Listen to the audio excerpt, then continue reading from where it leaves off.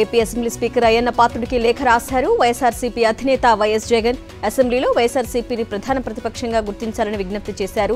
మంత్రుల తర్వాత తనతో ప్రమాణ స్వీకారం చేయించడం పద్ధతులకు విరుద్ధమని లేఖలో పేర్కొన్నారు. ప్రతిపక్ష నాయకుడి హోదా ఇవ్వకూడదని ముందుగానే నిర్ణయించినట్టున్నారంటూ సందేహం వ్యక్తం చేశారు. విపక్షంలో ఎవరికి ఎక్కువ సీట్లు ఉంటే వారికి ప్రతిపక్ష హోదా ఇవ్వాలని చట్టంలో నిర్వచించారన్న సీఎం జగన్ ప్రతిపక్ష హోదా ఇవ్వాలంటే పది శాతం సీట్లు ఉండాలని చట్టంలో ఎక్కడా లేదని అన్నారు. ఏపీలో నిలిపివేసిన న్యూస్ ఛానల్స్ ప్రసారాలను తక్షణం పునరుద్ధరించాలని ఢిల్లీ హైకోర్టు ఆదేశించింది. ఢిల్లీ హైకోర్టు ఆదేశాలపై ఎన్బీఎఫ్ హర్షం వ్యక్తం చేసింది. ట్రాయ్ నిబంధనల ప్రకారం ఛానల్స్ ప్రసారాలను నిలిపివేయడం చట్ట విరుద్ధమని పేర్కొంది. భవిష్యత్తులోనూ ఛానల్స్ ప్రసారాలను అడ్డుకోకుండా ప్రభుత్వాలు నియంత్రణ సంస్థలు చర్యలు తీసుకోవాలని కోరింది news broadcasters federation. Lok Sabha parliament సమావేశాలు రెండో రోజు కొనసాగుతున్నాయి. తెలంగాణ సహా మిగిలిన ఎంపీలు ప్రమాణ స్వీకారం చేస్తున్నారు. లోక్సభ సభ్యులతో ప్రొటెం స్పీకర్ భృతుహరి మహతాబ్ ప్రమాణం చేయిస్తున్నారు. భారత పార్లమెంటు చరిత్రలో అనూహ్య పరిణామం చోటు చేసుకుంది. స్వతంత్ర భారత చరిత్రలో తొలిసారి లోక్సభ స్పీకర్ పదవికి ఎన్నిక జరగనుంది. డిప్యూటీ స్పీకర్ పదవి దక్కకపోవడంతో సభాపతి స్థానానికి అభ్యర్థిని బరిలోకి దించింది విపక్ష ఇండియా కూటమి. సభాపతి పదవి కోసం ఎన్డీఏ తరపున ఓం బిర్లా నామినేషన్ వేయగా ఇండియా కూటమి నుంచి Congress MP K Suresh nomination దాఖలు చేశారు. లోక్సభ స్పీకర్ పదవికి అభ్యర్థిని నిలబెట్టిన కాంగ్రెస్ తీరును తప్పుపట్టారు. కేంద్ర పార్లమెంటరీ వ్యవహారాల శాఖ మంత్రి కిరణ్ రిజిజు సభాపతి డిప్యూటీ స్పీకర్ ఎన్నిక వేర్వేరు అంశాలని ఒకదానితో మరొకటి ముడిపెట్టడం సరికాదన్నారు. స్పీకర్ ఎన్నిక అనేది అందరి ఏకాభిప్రాయంతో జరగాలన్నారు కిరణ్ రిజిజు. ఢిల్లీ పర్యటనలో తెలంగాణ సీఎం రేవంత్ రెడ్డి బిజీ బిజీగా ఉన్నారు. ఇవాళ ఏఐసీసీ అధ్యక్షుడు మల్లికార్జున ఖర్గే రాహుల్ గాంధీ కేసీ వేణుగోపాల్తో భేటీ కానున్నారు. కొత్త పీసీసీ చీఫ్ ఎంపిక కేబినెట్ విస్తరణ ఇతర పార్టీ నేతల చేరికపై చర్చించనున్నారు. రుణమాఫీ సందర్భంగా భారీ బహిరంగ సభ నిర్వహించాలని కాంగ్రెస్ భావిస్తోంది. ఈ సభకు రాహుల్ను ఆహ్వానించనున్నారు సీఎం రేవంత్ రెడ్డి. తనపై నమోదైన కేసును కొట్టేయాలని హైకోర్టును ఆశ్రయించిన మాజీ సీఎం కేసీఆర్ కోర్టు లభించింది. విచారణపై తెలంగాణ హైకోర్టు స్టే విధించింది. ప్రతివాదులకు నోటీసులు జారీ చేసింది. విచారణ వచ్చే నెల పద్దెనిమిదికి వాయిదా వేసింది న్యాయస్థానం. రెండు వేల పదకొండులో రైల్ రోకో కేసులో న్యాయస్థానాన్ని ఆశ్రయించారు కేసీఆర్. రైల్ రోకోలో పాల్గొనలేదని పేర్కొన్నారు. ఎమ్మెల్సీ జీవన్ రెడ్డికి కాంగ్రెస్ అధిష్టానం మంత్రి పదవి ఆఫర్ చేసినట్టు తెలుస్తోంది. మంత్రి పదవి ఇస్తామని అధిష్టానం హామీ ఇచ్చినట్లు సమాచారం. జీవన్ రెడ్డితో అధిష్టానం దూతలుగా భట్టి శ్రీధర్బాబు చర్చలు జరుపుతున్నారు. తెలంగాణలో పనిచేస్తున్న ఏపీ క్యాడర్ ఏఐఎస్ ఐపీఎస్ అధికారులు ఇవాళ ఢిల్లీలో డిఓపీటీని కలవనున్నారు. వారిలో ఐదుగురు ఐఏఎస్ ముగ్గురు ఐపీఎస్ అధికారులు ఉన్నారు. ఏపీ క్యాడర్కు చెందిన అధికారులు పంపాలంటూ డీఓపీటీఓకు లేఖ రాసింది ఏపీ ప్రభుత్వం. తమ రాష్ట్రాల్లో ఐఏఎస్ ఐపీఎస్ అధికారుల కొరత ఉందని ఇరు రాష్ట్ర ప్రభుత్వాలు చెబుతున్నాయి తెలంగాణ నుంచి ఏపీకి వెళ్ళేందుకు ఏపీ క్యాడర్ ఐఏఎస్ ఐపీఎస్ అధికారులు మాత్రం ఆసక్తి చూపించడం లేదు. తెలంగాణ వ్యాప్తంగా రెండో రోజు జూనియర్ డాక్టర్ల సమ్మె కొనసాగుతోంది. ఉస్మానియా ఆసుపత్రి వద్ద జూడాల నిరసన వ్యక్తం చేస్తున్నారు. ఉస్మానియా ఆసుపత్రి పాత బిల్డింగ్ వద్దు కొత్త బిల్డింగ్ కావాలంటూ డిమాండ్ చేస్తున్నారు జూడాలు. విధులను బహిష్కరించారు. సీఎం రావాలి సీఎం మాట్లాడాలి అంటూ నినాదాలు చేస్తున్నారు జూడాలు. ఉస్మానియా కొత్త బిల్డింగ్ వచ్చే వరకు సమ్మె విరమించేది లేదని సమ్మెను తీవ్రస్థాయిలోకి తీసుకెళ్తామంటున్నారు జూడాలు. ఎమర్జెన్సీ రోజులను గుర్తు చేస్తూ కేంద్ర మంత్రి శ్రీనివాస్ వర్మ ట్వీట్ చేశారు. పంతొమ్మిది వందల డెబ్బై ఐదు జూన్ ఇరవై ఐదున ఎమర్జెన్సీ ప్రకటనతో భారతదేశ చరిత్రలో ఒక భయంకరమైన అధ్యాయాన్ని సూచిందన్నారు. ఈ చీకటి అధ్యాయం ప్రజాస్వామ్య సూత్రాలను ఎల్లప్పుడూ కాపాడుకోవాలని గుర్తు చేస్తుందన్నారు. ప్రజాస్వామ్యాన్ని పణంగా పెట్టిన నియంతృత్వాన్ని మర్చిపోకూడదంటూ ట్వీట్ చేశారు. తిరుపతి మున్సిపల్ కార్పొరేషన్ అధికారులు ఫుట్పాత్లు ఆక్రమించి దుకాణాలు నిర్వహిస్తున్న వాటిని కూల్చేశారు. ఎన్నో ఏళ్ళుగా ఫుట్పాత్ ఆక్రమణ చేసి ట్రాఫిక్ అంతరాయం కలిగిస్తూ రైల్వే స్టేషన్ ఎదుట ప్రయాణికులకు ఇబ్బందులు గురిచేస్తున్న వ్యాపార సముదాయాలు ఆక్రమణలపై కూడా ఝుళిపించారు ఇన్నేళ్ళుగా ఫుట్పాత్లు అనుకొని చిరు వ్యాపారాలు నిర్వహించే వ్యాపారులు మాత్రం ఆందోళనకు దిగారు. గత ప్రభుత్వం సహకరిస్తే ఈ ప్రభుత్వంలో మాత్రం ఇలా చేస్తున్నారని ఆవేదన వ్యక్తం చేస్తున్నారు. పార్వతీపురం మన్యం జిల్లాలో సిపిఎం నాయకుడు సాంబమూర్తి వినూత్న నిరసన చేపట్టారు. పార్వతీపురం నుంచి రాయగడకు వెళ్ళే అంతరాష్ట్ర రహదారి అధ్వానంగా ఉందని జాలారి వేషధారణతో నిరసన వ్యక్తం చేశారు. ప్రభుత్వం వెంటనే స్పందించి రోడ్డు నిర్మాణం చేపట్టాలని డిమాండ్ చేశారు. డాక్టర్ బీఆర్ అంబేద్కర్ జిల్లా ఉప్పలగుప్తం మండలం యానాంలోని వేదాంత ఆయిల్ కంపెనీ యాజమాన్యం ఇచ్చిన హామీల మేరకు నిరుద్యోగులకు ఉద్యోగాలు కల్పించాలని జిల్లా కలెక్టరేట్ ఎదుట గ్రామస్తులు ధర్నా నిర్వహించారు. జిల్లా కలెక్టర్ హిమాంశు శుక్లాకు వినతిపత్రం అందజేశారు. నెల్లూరు జిల్లా నర్రవాడ వెంగమాంబ అమ్మవారి బ్రహ్మోత్సవాలు అత్యంత వైభవంగా జరుగుతున్నాయి. ఉత్సవాల్లో భాగంగా రెండో రోజు అమ్మవారి గ్రామోత్సవం నిర్వహించారు. ఈ సందర్భంగా అమ్మవారి దంపతుల ఉత్సవ విగ్రహాలను పూలతో సుందరంగా అలంకరించి గ్రామ పురవీధుల్లో ఊరేగించారు. భక్తులు పెద్ద సంఖ్యలో పాల్గొని అమ్మవారికి కాయ కర్పూరం సమర్పించి తీర్థప్రసాదాలు అందించారు. పెంపుడు కుక్కను దొంగలించిన ఘటన విజయనగరం జిల్లాలో జరిగింది. రాజాంలోని బాబానగర్కు చెందిన సింహాచలం అనే ఆర్మీ జవాన్ ఇంట్లో ఉండే షిట్ జాతి కుక్కపిల్లను ఎత్తుకెళ్ళారు. సింహాచలం కొడుకు కుక్కపిల్లతో బజార్కు వెళ్ళగా అక్కడ ఫోటోలు తీసుకుంటామని చెప్పి దానికి దానిని దొంగిలించుకెళ్ళారు ఇద్దరు వ్యక్తులు.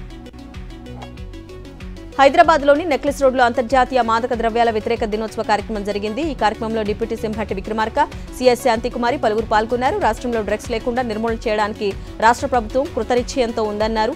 అందరం కలిసికట్టుగా కృషి చేస్తే త్వరలోనే డ్రగ్స్ ఫ్రీ తెలంగాణను చూడొచ్చన్నారు. ఢిల్లీలో బీజేఎల్పీ నేత మహేశ్వర్ రెడ్డి రెండో రోజు పర్యటన కొనసాగుతోంది. బీజేపీ హైకమాండ్ నేతలతో మహేశ్వర్ రెడ్డి భేటీ అవుతున్నారు.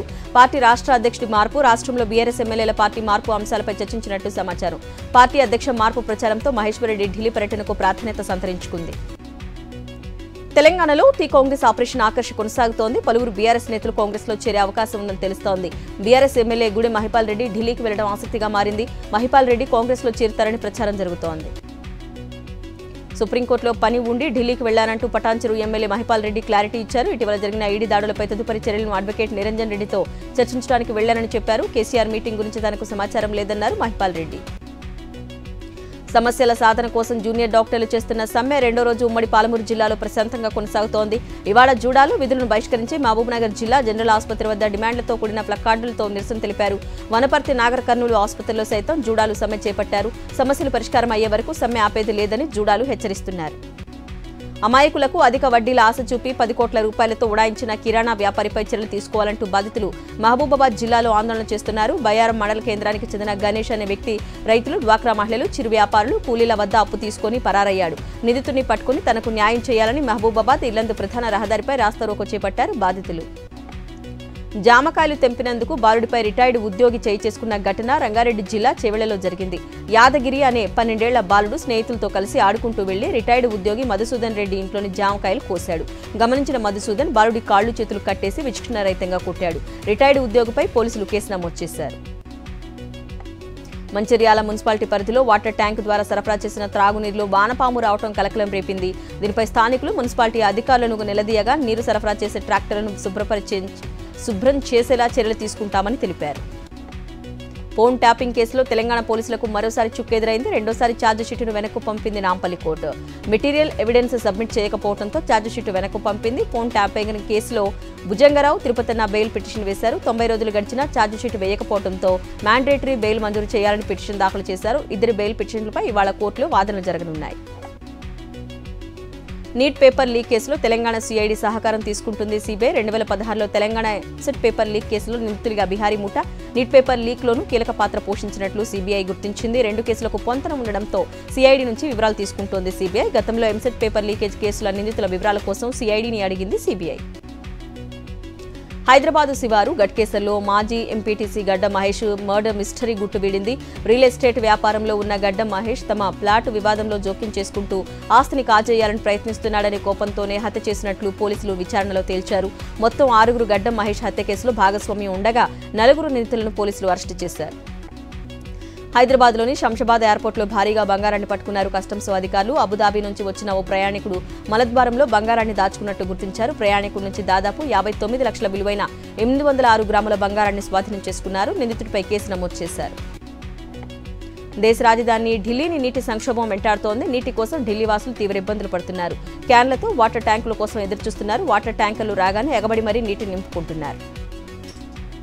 భారీగా వర్షం కురవగానే అయోధ్య గర్భాలయ నిర్మాణంలో లోపాలు వెలుగు చూశాయి. వర్షం లీక్ అవుతోందని రామజన్మభూమి ఆలయ ప్రధాన పూజారి ఆచార్య సతీంద్ర దాస్ ఆగ్రహం వ్యక్తం చేశారు. అయోధ్యలో కురిసిన భారీ వర్షం వల్ల గర్భగుడిలో బాలరాముని పూజించేందుకు పూజారులు కూర్చున్న చోట దర్శనం కోసం వీఐపీ భక్తులు వచ్చే మార్గంలోనూ వర్షపు నీరు లీక్ అవుతోందని తెలిపారు. దీన్ని తీవ్రమైన సమస్యగా పరిగణించి తక్షణ చర్యలు చేపట్టాలని ఆలయ యాజమాన్యాన్ని కోరారు.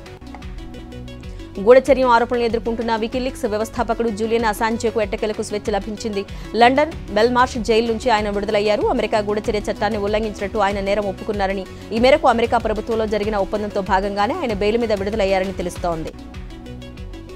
టీ ట్వంటీ వరల్డ్ కప్లో భారత జట్టు సెమీస్కు చేరింది. ఆస్ట్రేలియాపై ఇరవై నాలుగు పరుగుల తేడాతో భారత్ గెలుపొందింది. తొలుత బ్యాటింగ్ చేసిన టీమిండియా ఐదు వికెట్లు కోల్పోయి రెండు వందల ఐదు పరుగులు సాధించింది. అనంతరం రెండు వందల ఆరు పరుగుల లక్ష్యంతో బరిలోకి దిగిన ఆసీస్ జట్టు నూట ఎనభై ఒక్క పరుగులు మాత్రమే చేసింది. హైదరాబాద్ మెట్రో ఆదాయం గత ఆర్థిక సంవత్సరంలో నూట ఐదు శాతం పెరిగినట్లు ఎల్ఎన్టీ సంస్థ తన నివేదికలో వెల్లడించింది. రెండు వేల ఇరవై రెండు ఇరవై మూడులో ఏడు వందల పాయింట్ మూడు రెండు సున్నా కోట్ల రూపాయల ఆదాయం రాగా రెండు వేల ఇరవై మూడు రెండు వేల ఇరవై నాలుగులో పద్నాలుగు వందల ఏడు పాయింట్ ఎనిమిది ఒకటి కోట్లకు పెరిగిందని తెలిపింది. దీంతో గతేడాది నష్టాలు భారీగా తగ్గాయని చెప్పింది. తెలుగు రాష్ట్రాల్లో మరో రెండు రోజులు భారీ వర్షాలు కురుస్తాయని వాతావరణ శాఖ తెలిపింది. ఏపీలో పలు జిల్లాల్లో భారీ వర్షాలు కురుస్తాయని చెప్పింది. పలు చోట్ల మోస్తరు నుంచి భారీ వర్షాలు పడతాయని పలు చోట్ల పిడుగులు పడే అవకాశం ఉందని తెలిపింది. తెలంగాణలో తేలికపాటి నుంచి మోస్తరు వర్షాలు కురుస్తాయని చెప్పింది. కొన్ని జిల్లాల్లో ఉరుములు మెరుపులతో కూడిన వర్షాలు పడతాయని తెలిపింది.